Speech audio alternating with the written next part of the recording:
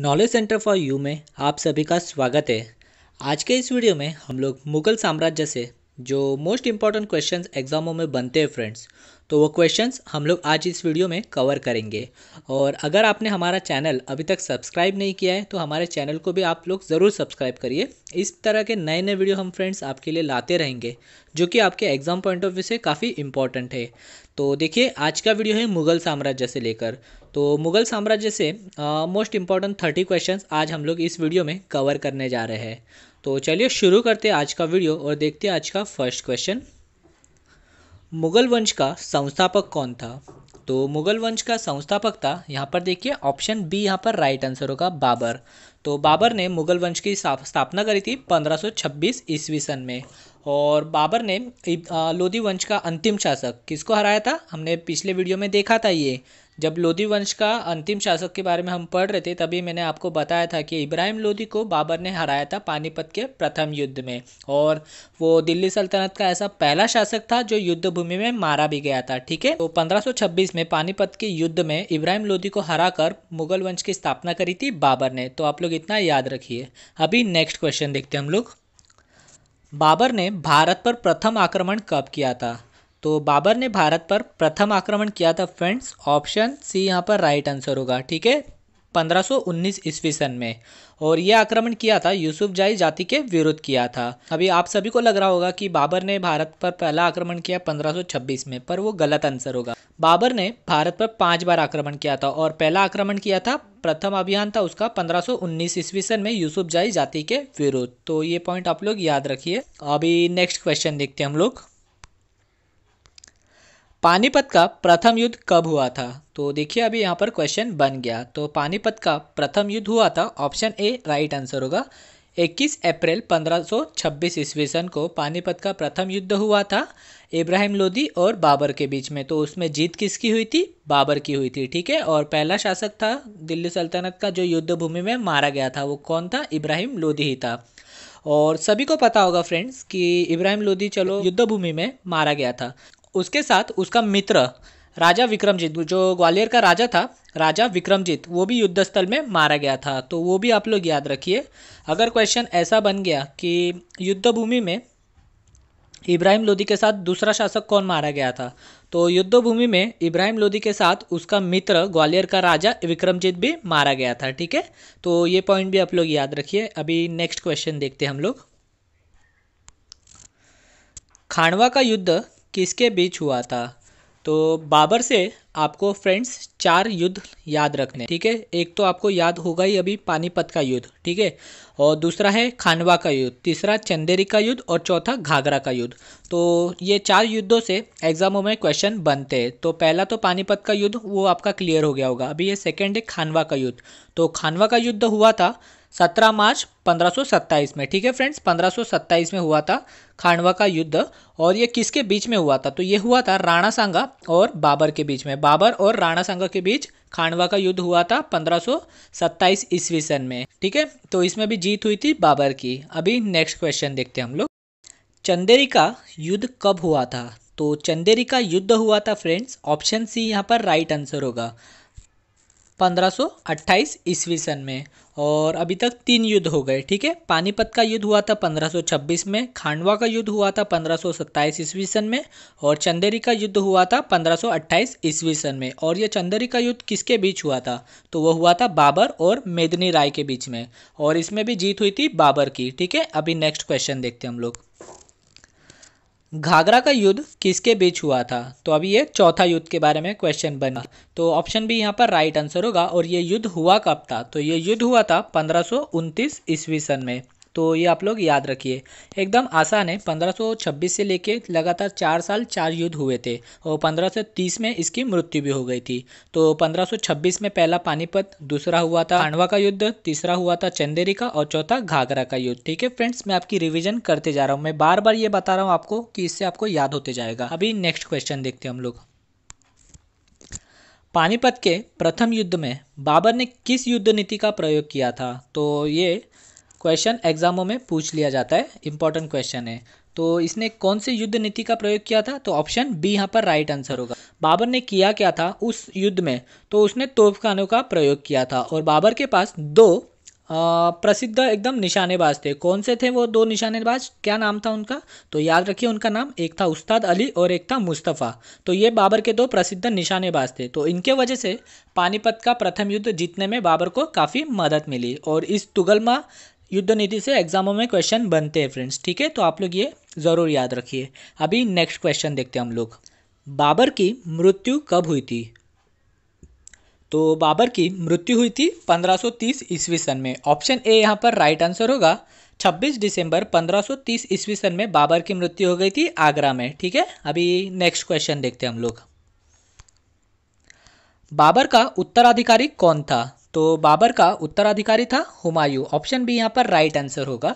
और फ्रेंड्स अभी तक हमने बाबर के बारे में जो भी क्वेश्चंस बन सकते थे, वो सारे क्वेश्चंस कवर कर। तो अभी हम लोग आगे के शासकों के बारे में पढ़ते हैं। सूर साम्राज्य का संस्थापक कौन था? तो सूर साम्राज्य का संस्थापक था ऑप्शन ए यहाँ पर राइट आंसर होगा, शेरशाह सूरी। और ये शेरशाह, ये बाबर का सेनापति था। तो अभी इस क्वेश्चन में इतना देखते हैं। आगे इसके बारे में और हम लोग डिटेल में जानेंगे फ्रेंड्स और अगर आपको क्वेश्चंस के आंसर फ्रेंड्स आते रहेंगे तो आप लोग भी इसके आंसर कमेंट सेक्शन में लिखते जाइए, ठीक है? अभी नेक्स्ट क्वेश्चन देखते हैं हम लोग। शेरशाह सूरी के बचपन का नाम क्या था? तो शेरशाह सूरी के बचपन का नाम था ऑप्शन डी यहाँ पर राइट आंसर होगा। फरीद इसका बचपन का नाम था। तो अब ये फरीद से बना शेर खां। शेर खां के नाम के पीछे की स्टोरी क्या है फ्रेंड्स कहा जाता है कि फरीद ने एक शेर को तलवार के एक ही वार से मार दिया था। तो उसकी इस बहादुरी पे उस समय का बिहार का सुल्तान था। क्या नाम था उसका? मोहम्मद बहार खान लोहानी। तो उसने इसको शेर खां की उपाधि प्रदान करी थी ठीक है? तो ये बना फरीद से शेर खां और जब पंद्रह में चौसा का युद्ध हुआ हुमायूं के साथ तो उस युद्ध में ये जीत गया था। तो उस युद्ध के बाद ये शेर खां से शेर शाह बना, ठीक है? इस प्रकार इसके नाम चेंज होते गए। तो अभी नेक्स्ट क्वेश्चन देखते हैं हम लोग। चौसा का युद्ध किसके बीच हुआ? तो चौसा का युद्ध हुआ था हुमायूं और शेर खां के बीच में, और इस युद्ध के बाद ही शेर खां ने शेर शाह की उपाधि ग्रहण करी थी। अभी नेक्स्ट क्वेश्चन देखते बिलग्राम का युद्ध कब हुआ था? तो बिलग्राम का युद्ध हुआ था 1540 ईस्वी सन में, और ये बिलग्राम का युद्ध किसके बीच में हुआ था? तो बिलग्राम का युद्ध हुआ था हुमायूं और शेरशाह सूरी के बीच में। ये बिलग्राम का युद्ध काफ़ी इंपॉर्टेंट है। अभी इसके बाद ही स्टोरी काफ़ी चेंज होने वाली है। तो देखिए, बिलग्राम के युद्ध के बाद शेरशाह सूरी दिल्ली के राजगद्दी पर बैठा, ठीक है? ना याद रखिए, अभी आगे हम लोग पढ़ेंगे तो आपको और भी डिटेल में पता चल जाएगा। अभी हम लोग नेक्स्ट क्वेश्चन देखते शेरशाह दिल्ली की गद्दी पर कब बैठा? तो देखिए ऑप्शन भी यहाँ पर राइट आंसर होगा। 1540 ईस्वी सन में बिलग्राम के युद्ध के बाद शेरशाह सूरी ये दिल्ली की राजगद्दी पर बैठा। अभी नेक्स्ट क्वेश्चन देखते हुमायूं नामा की रचना किसने करी थी? तो हुमायूं नामा की रचना करी थी गुलबदन बेगम बेगम ने। ऑप्शन डी यहाँ पर राइट आंसर होगा। हुमायूं नामा की रचना करी गुलबदन बेगम ने। अभी नेक्स्ट क्वेश्चन देखते अकबर के बचपन का नाम क्या था? तो देखिए, अभी अकबर के बारे में पूछा गया है। तो अकबर के बचपन का नाम था जलाल। ऑप्शन सी यहाँ पर राइट आंसर होगा। और जैसे कि मैंने आपको बताया कि ये 1540 में बिलग्राम के युद्ध के बाद हुमायूं दिल्ली छोड़कर सिंध चला गया था और वहीं पे अब अकबर का जन्म हुआ था 1542 ईस्वी सन में, ठीक है? और इसके बचपन का नाम था जलाल। अभी नेक्स्ट क्वेश्चन देखते हैं हम लोग। पानीपत की दूसरी लड़ाई किसके बीच हुई थी? तो ये इम्पोर्टेंट क्वेश्चन है। पानीपत की दूसरी लड़ाई हुई थी अकबर और हेमू विक्रमादित्य के बीच में। तो ये इंपॉर्टेंट क्वेश्चन है फ्रेंड्स पानीपत की पहली लड़ाई कब हुई थी? पानीपत की पहली लड़ाई 1526 ईस्वी सन में हुई थी और इब्राहिम लोदी और बाबर के बीच हुई थी। दूसरी लड़ाई हुई थी अकबर और हेमू के बीच में पंद्रह ईस्वी सन में। ठीक है? अभी नेक्स्ट क्वेश्चन देखते हैं हम लोग।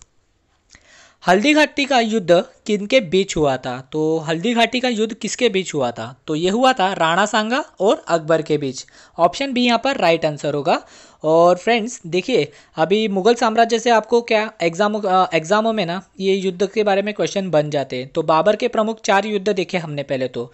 और ये अभी है अकबर के बारे में। तो अकबर के बारे में भी आप लोग ये पानीपत का दूसरा युद्ध याद रखिए और हल्दी घाटी का युद्ध याद रखिए। यहाँ से क्वेश्चन बनते हल्दी घाटी का युद्ध हुआ था राणा सांगा और अकबर के बीच। और ये कब हुआ था फ्रेंड्स ये हुआ था पंद्रह ईस्वी सन में। बस, अभी नेक्स्ट क्वेश्चन देखते हैं हम लोग। प्रसिद्ध संगीतकार तानसेन किसके दरबार में रहते थे? प्रसिद्ध संगीतकार तानसेन ये अकबर के राज दरबार में रहते थे। और अगर एग्ज़ाम में क्वेश्चन बना कि तानसेन का असली नाम क्या था? तो वो नाम भी आप लोग याद रखिए, इनका असली नाम था रामतनु पांडे, ठीक है? और फ्रेंड्स आप लोग ये भी याद रखिए, अकबर के दरबार को सुशोभित करने वाले नौ रत्न थे, ठीक है? तो नौ लोग ऐसे खास थे जो अकबर के दरबार में रहते थे। तो देखिए इनके नाम इस प्रकार है। अबुल फजल था, अबुल फजल, फैज़ी तानसेन, बिरबल, टोडरमल, राजा मानसिंह, अब्दुल रहीम, खाने खाना, फ़कीर अजाउद्दीन और मुलादो प्याजा। तो ये नौ नाम आपको याद रखने फ्रेंड्स ठीक है? मैं आपको देखिए, अभी ये नाम की लिस्ट आपको दिखा देता हूँ। तो ये आप लोग एज इट इज़ याद रखिए। एग्जामों में इन नौ में से किसी का भी नाम पूछ लिया जाएगा कि अकबर के अकबर के राज दरबार में इनमें से कौन था। ऑप्शन दिए जाएँगे तो आपको उसमें से पता होगा तो आप लोग आसानी से उसे आराम से टिक कर सकते हो, ठीक है? तो ये नौ नाम आप लोग याद रखिए। अभी नेक्स्ट क्वेश्चन देखते हैं हम लोग। अकबरनामा ग्रंथ की रचना किसने करी थी? तो अकबरनामा ग्रंथ की रचना करी थी अबुल फजल ने। ऑप्शन सी यहाँ पर राइट आंसर होगा। अभी नेक्स्ट क्वेश्चन देखते दीन इलाही धर्म का प्रधान पुरोहित कौन था? तो दीन ए इलाही धर्म का प्रधान पुरोहित था अकबर। ऑप्शन भी यहाँ पर राइट आंसर होगा। अभी नेक्स्ट क्वेश्चन देखते हैं हम लोग। दीन ए इलाही धर्म स्वीकार करने वाला प्रथम एवं अंतिम हिंदू शासक कौन था?